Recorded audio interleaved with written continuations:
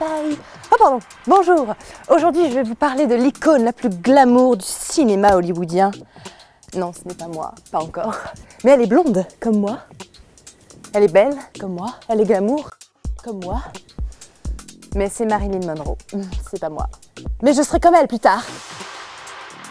Est-ce que vous vous souvenez de Michelle Williams? Alors c'est l'actrice qui a joué dans Blue Valentine et aussi dans Le secret de Brokeback Mountain. Et eh bien là, dans le film signé Simon Curtis, My Week with Marilyn, elle va incarner la belle Norma Jane Baker, plus connue sous le nom de Marilyn Monroe.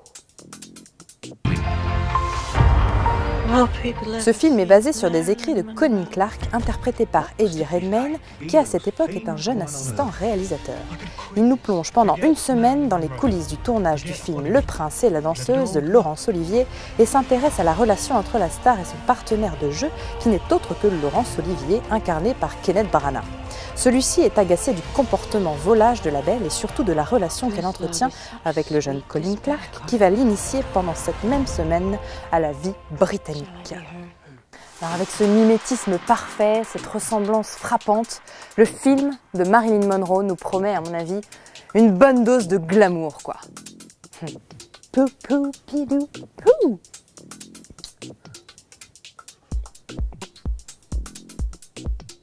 Et vous là-bas, vous savez quoi?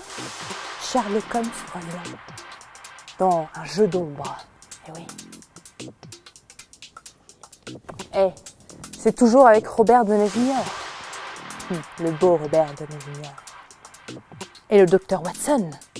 Mais il est toujours là lui aussi. Et c'est Jude qui le joue. Comme dans le premier d'ailleurs. Hein. Et le deuxième est aussi réalisé par Guy Ritchie. Pas mal. Librement adapté de la nouvelle Le problème final de Sir Arthur Conan Doyle, ce nouveau Sherlock Holmes devrait, comme son prédécesseur, assurer en matière de mystère, d'action, de coups de canon, de déguisement, d'humour et de ralenti, comme le prouvent ces images.